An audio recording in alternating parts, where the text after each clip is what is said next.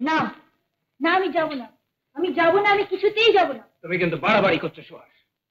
আমি ভেবেছিলাম তুমি আমার যোগ্য স্ত্রী হবে। তার জন্য বুঝি পার্টিতে যেতে হবে ক্লাবে যেতে হবে মদ খেয়ে হই করতে হবে। প্রয়োজন হলে তাই করতে হবে। এগুলো আমার ব্যবসার অঙ্গ। মদ খেতে না চাও খাবে না। কিন্তু তুমি কুণাল দত্তের স্ত্রী।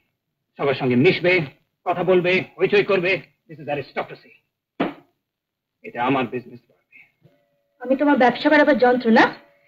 এটা স্ত্রীর কর্তব্য। তুমি আমি অন্য কিছু করতে বলো করব। কিন্তু ওসব আমি পারব না। পারবে পারবে। কোথা থেকে কোথায় তুলে এনেছি ভেবে দেখো। তোমার দাদারা তো টাকা খেয়ে ঠিকই করে ফেলেছিল। তোমাকে মালবাজারে দুই চোরা কারবারির হাতে তুলে দেবে। সে সময় আমি গিয়ে উদ্ধার না করলে কোথায় ভেসে যেতে ভেবে দেখো। আজকে আজকে এসব কথা তোলার কোনো মানে হয় না। আমি কি তোমায় বলেছিলাম বাঁচাতে? বলনি কিন্তু আমি দয়া দেখিয়েছিলাম। তার জন্য আমি কৃতজ্ঞ। আর সেই কৃতজ্ঞতার নমুনা আমার প্রতিটি কথার অবাধ্য হওয়া তাহলে তুমি পার্টিতে যাবে না? না। দাদাদের মতন তুমি আমাকে পার্টিতে নিয়ে গিয়ে একে ওকে দেখিয়ে তোমার ব্যবসা বাড়াবে? স্মাগলার ছিল বলে দাদাদের আমি ঘৃণা করতাম। মুখ ভেঙে দেবো।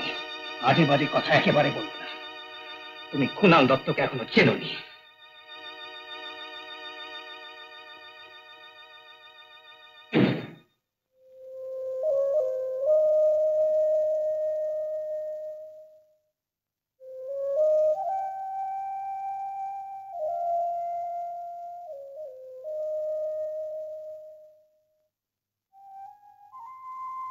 দাদাদের সঙ্গে ওর কেন পরিচয়?